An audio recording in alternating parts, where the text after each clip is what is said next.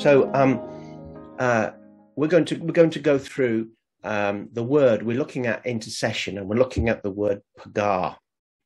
And um, I've got this session and one more session to go on that. And what I'd like to do, if it's okay with you, is I'd like to um, briefly go over a few of the things that I said last week before I give fresh material. And uh, the reason is that is that I messed up the video, and so some people are asking me for the video who couldn't attend, and I said I didn't have it. So uh, I don't think it, it, I think I think it's good to go over it. I, I won't take long, and I think you'll appreciate it because things don't necessarily go in first time round. So we're looking at this word paga, which is commonly translated in the Old Testament uh, as intercessor. And here's the key verse Isaiah 59 16. He saw, God saw there was no man and wondered that there was no intercessor, Paga. Therefore, his arm brought salvation for himself, and his own righteousness sustained him. It's incredible that God is looking for intercessors. Um, it's incredible that Jesus lives evermore to intercede. Uh, so, intercession is so important to God. And the reason that intercession is so important to God is because intercession bridges the gap between God's will and God's manifestation of his will. So prayer changes things. I know sometimes um, uh, our prayer is tested when we don't see immediately change. But I think sometimes in, in prayer, it's a little bit like they call a tipping point you know you pray and you pray and you pray and others pray and just doesn't nothing seems to be happening eh, you know visibly. Um, but at that time when we're praying many things are happening invisibly. I always think of daniel who was an intercessor. He stood in the gap didn't he for the return of of, of the jews after 70 years in babylon. And what did he do he took Jeremiah's word that prophesied they'd be there 70 years. He didn't just leave it, but he began to pray it. He began to be the man that was in the gap between God's will, 70 years and release, and the manifestation of God's will. And so Daniel prayed for three weeks. And you know, it says nothing about what he experienced during that three weeks. Um, and I don't think he did experience much at all.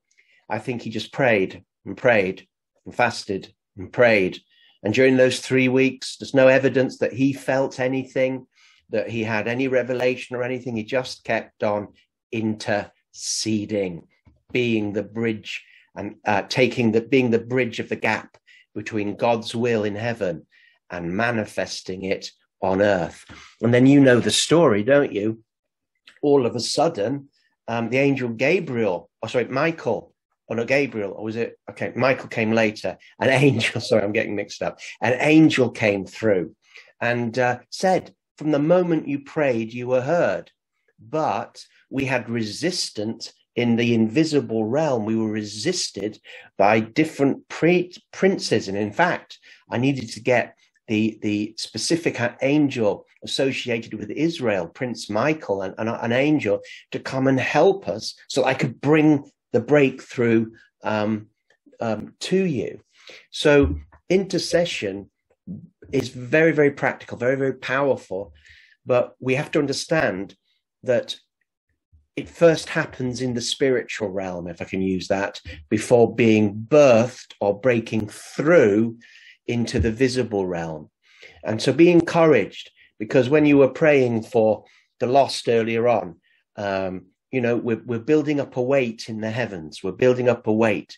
And when I say a tipping point, a tipping point is when something uh, keeps getting gathered and gathered. There's a, there's a momentum, there's something happening.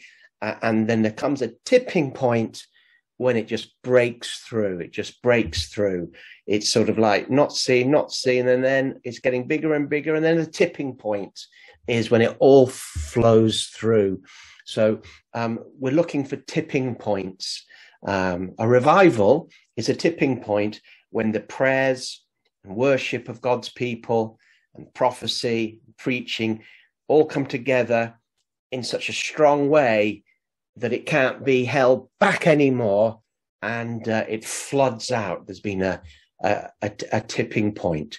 So keep on interceding, keep on being the woman or the man in between what God has said and what God's will is known and its manifestation. God is looking for a person and a people that will stand in the gap um, uh, for, for, the for the for the land. And so um, we, we looked at paga can mean various things, and we looked that paga can also mean hitting the mark. Job 37, 32. Uh, God covers his hands with lightning and commands it to strike, paga, the mark. And so paga can mean to hit the mark. And as I said last week, won't go into detail, but it's a, a, good reminder for those that were here last week. Prayer must strike the mark. Prayer must hit the target and paga hits the target so we want we want god we want to find the target and hit it and hit it and hit it so you know we, we what we do, we don't want to be praying around and doing this and that what we want is the holy spirit to help us um, you know almost like a telescopic lens you know on a sniper rifle and go right to the target and I said last week that sometimes you can tell, sometimes when we're praying together or when you're praying, sometimes you can just sense when the prayers are really hitting targets. And and I find, you know, how well I find that if I'm in a prayer meeting and someone starts hitting the target and I can feel them in their prayers hitting the target, not just praying about the situation, that's all right.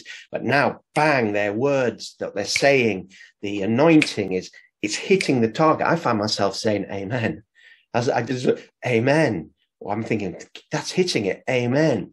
And so sometimes when when people say amen and, and mean it, you know, during the thing, you know, you, you, haven't finished and they said amen, but you're, you're, you're, you're praying and someone's going, amen, amen. It's because they are feeling that your paga is hitting the mark. So you can have you can be praying about a subject, you know, pray this, we pray that, and I'm not decrying that. All prayer mixed with faith has an effect, but I love it when you hit the mark, or when I'm praying, or when you're praying in your devotions or whatever, and you pray and you suddenly get a prayer flow, or you suddenly get a momentum or a motivation or an energy, and then you begin to pray. And for those few moments, bang, bang, bang, bang, bang, bang, you know you're hitting the mark. And I think that's a very important principle about intercession, seeking to hit the mark. And also, the, you hear about prayer warriors and intercessors as warriors. And part of that comes from this word paga that can mean to strike, as in battle. And so here, here's just a use of paga, which means in which was normally translated intercession. But here we find that the king tells the guards, um, kill the priests because they're with David and because they knew he fled and didn't tell me. But the servants of the king would not lift their hands to strike, paga, the priests of the Lord. And then here in another passage, I'll put these notes on um, on, on our Holy Spirit chat group. Rise up and attack us, they said to Gideon, and used the word, word paga. And so paga can also be used in the sense of genuine spiritual warfare, because in the um, the passage that I read about no one to intercede, it's got a military feel to it. The Lord saw it and it displeased him in, displeased him in Isaiah 59 that there was no justice. He saw that there was no man and wondered that there was no one to intercede. Now look, the next picture, as I said last week, is the picture of God being a warrior to bring about his will and to be almost his own intercessor. Uh, his own arm brought him salvation, his righteousness upheld him. And here's the echoes of Ephesians 6, the armor of Ephesians 6.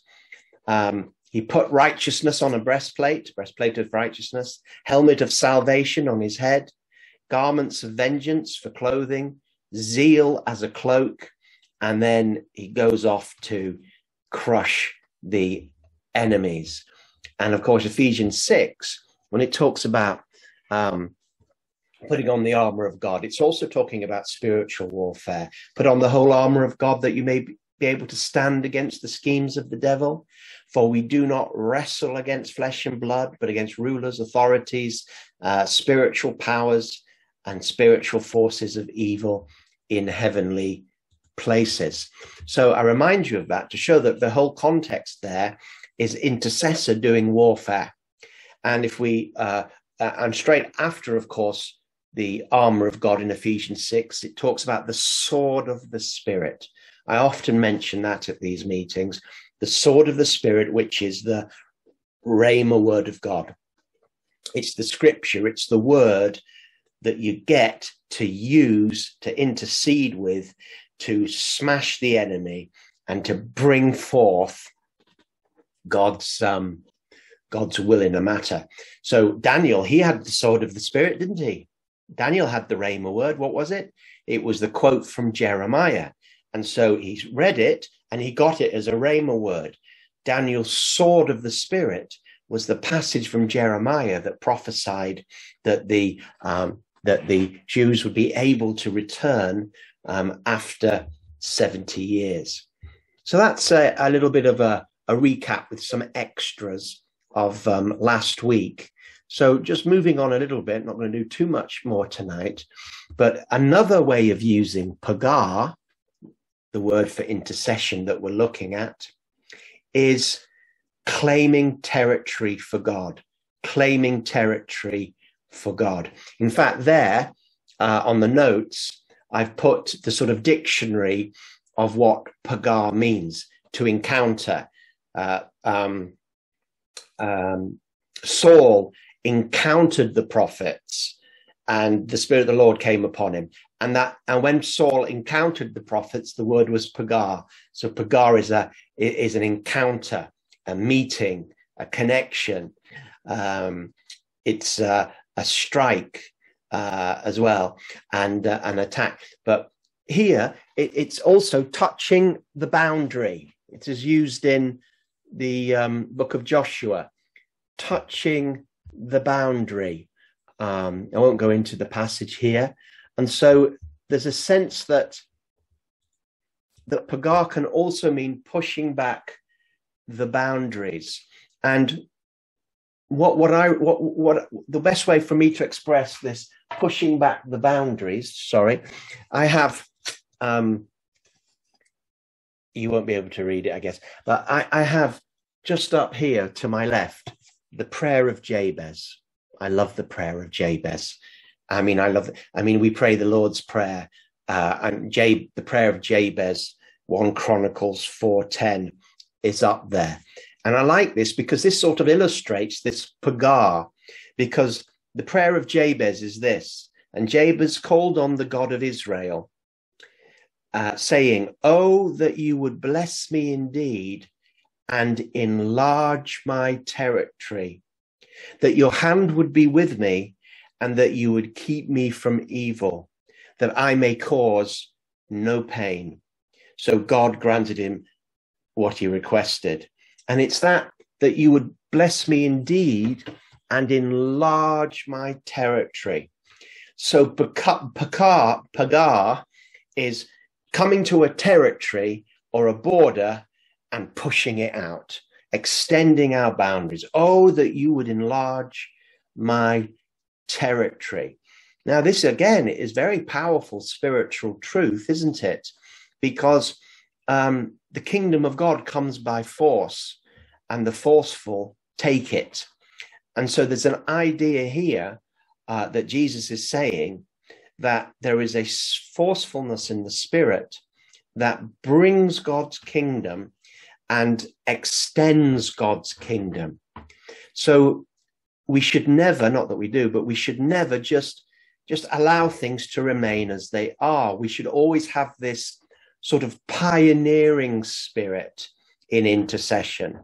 Sometimes uh, uh, you know, and it's natural. Sometimes we tend to intercede in reaction or in response to something, and that's all right. So you know, uh, I don't think I was praying much for Ukraine until, you know, it looked like Russia were going to invade. And then when we heard that Russia were going to invade, you know, we began to start praying in response. And then Russia invaded, and we we had an evening, and we keep praying, but we had a special evening praying in in response. We've heard of sh- what's going on in Sri Lanka. I don't know if anybody was praying for them before this news, but we're praying in response, and all that's appropriate.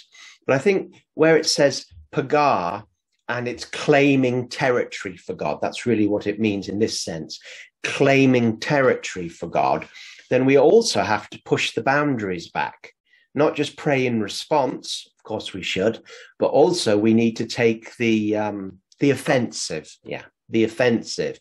We need to sort of be open to the spirit and say, right, you know, we're not just treading water, we're not just defending our patch, we're not just um, reacting to the enemy and to and to the kingdom of darkness in history. We will, but we need to say, Lord, where can we pray to extend? And Pastor Peter had a very powerful word for our church a couple of years ago that is really still still still strong as a, a sword of the spirit today. And it was, you know, enlarge that one, enlarge the um, tent pegs of your tent, enlarge the tent pegs of your tent, prepare for enlargement. So that is a pre- that is a sword of the spirit that is a paga in the sense of coming to a border and pushing it out, increasing it. So when we pray, Your kingdom come, Your will be done, and we're, we're, we're praying for the you know the schools to have a godly influence. We're praying, you know, for churches to multiply. We're, we're, we're praying. We are we are outward looking. We are wanting to to expand our influence and the influence of the kingdom of God. That's paga. That's paga. Next week, I'll do the final. I've got one more to do tonight, but next week I'll do the final sense of paga, which is very strong, which is basically arguing with God, with his arguments, but arguing with God, um, interceding and entreating God. And then I'll go through all of them again. But but this idea of taking territory should be important in our lives. And then finally tonight, um, with the last one coming next week, we have um, Paga can be carrying a what I've put a prayer burden from the Lord. Uh, look at this very famous passage, Isaiah 53 6. All we like sheep have gone astray. We have turned everyone his own way, and the Lord has laid on him the iniquity of us all. And the word laid is paga. So the Lord has pagard on him the sin of us of us all. And you know, with the, some of the other uh, aspects of paga, you can look. The Lord has, you know, struck him almost because the word can mean strike. The Lord has struck him uh, the the iniquity of us all. The the Lord has, you know, hit the mark by putting the iniquity of, of us all on him. The Lord has encountered him with the iniquity of us all. The Lord has put him in this spiritual warfare situation of carrying the the the enemy of sin that's of us all. So you can look at how when you get to know the different nuances of Paga, how when you see it in one thing, a lot of the other sort of uh, uh, things of violence, of encounter, um, sort of move forward. And my yoke is easy and my burden is light. Well, in the next verse, Luke 22, we just see him carrying this burden that he was going to carry on the cross fully, of course, but we see this incredible burden of preparation to, to die for the sins of the world in prayer. And being in agony, he was praying fervently his sweat became like drops of blood falling down upon the ground in the Garden of, of Gethsemane. There was Jesus with the most intense burden or paga that you could possibly have.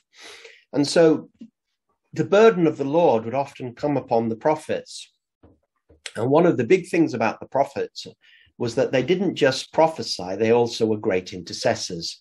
The prophets were there to intercede um, and, and pray, um, and God would put the burden of the Lord. In, in fact, sometimes the prophet, where it says, um, the word of the Lord came to me, sometimes in the Old Testament, we've translated the word of the Lord came to me, but it's the burden of the Lord came to me, not the word paga, but another word for burden of the Lord. And so a burden is something that's heavy on you. You feel it. You're carrying a heavy burden. You feel its pressure upon you. And so paga in intercession can mean a prayer burden, a prayer burden. And they're not, I'm not saying that they're going to be like the ones in Gethsemane. That is the ultimate prayer burden, isn't it? That Jesus was carrying, the burden to pray through to get ready for the cross.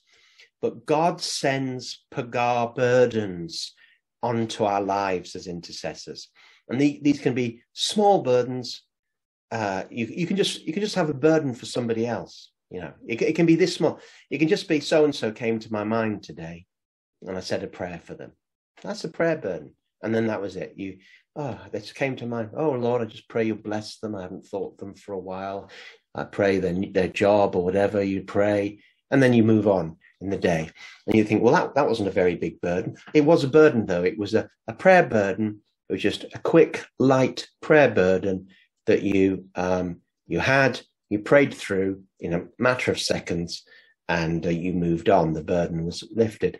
Or you can have a, a, a stronger burden for someone. And these burdens come from the Lord. It's not just you wanting to pray. It, there's a burden, there's a sense of God putting somebody on your heart. Or it might be there's a nation, you carry a, a prayer burden for a particular nation or a particular city or um, a, a, particular aspect of God's truth. There's just something. It, it's like uh, it doesn't mean as much to others, but it means more to you. And um, sometimes when God gives you a strong burden of prayer, sometimes you have to be careful because you don't understand why everybody else doesn't feel like you do. So often, someone with a very strong burden for a nation or something like that, they're like, "Why aren't you? Why don't you care what's happening in this nation?"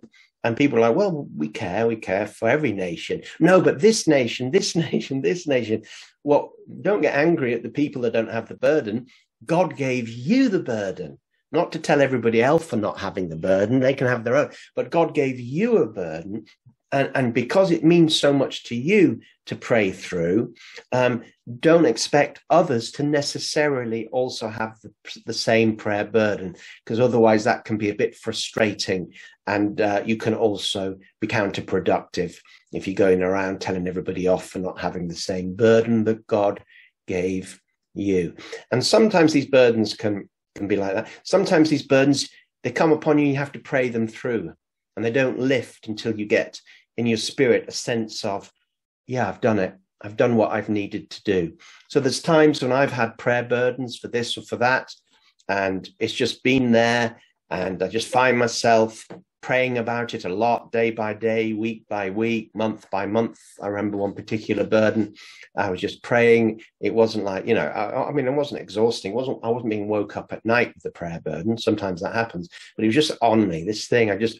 It wasn't like I rem- put it on my prayer list. It was just on me. Just when when I was praying, or it would just come to me and I'd pray for it. It just it wouldn't go away. It was there. It was there.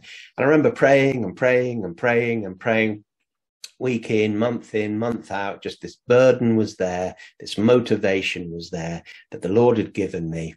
And then I came to a point where I thought, that's it. That's it. Nothing had happened, but I knew that I had done my duty, or if, I can, if that's the right word, I, I had the burden had lifted, and that I had from my perspective, um, fulfilled that prayer burden. It, you know, the thing was still important. I just didn't feel that sense of of wanting to pray about it anymore. It wasn't I was bored of it. It was just the burden to do that had completed uh, had been completed. So burdens come in all shapes, forms, and sizes.